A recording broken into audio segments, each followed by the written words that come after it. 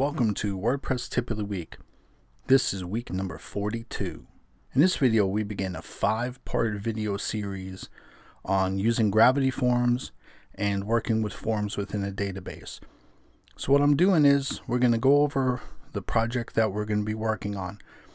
We're having a staff form where people can enter staff members and then we have another page where you can actually retrieve that information from the database to view information on the particular employee.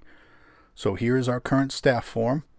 And then we also have a form where we can retrieve information about an employee. So for example, if you wanted to see about Jane Henderson, this would be the information that it outputs. So what we're going to do is over the next four videos, we're going to put all this together and I'm going to show you how it works and give you ideas that you can implement within your own site.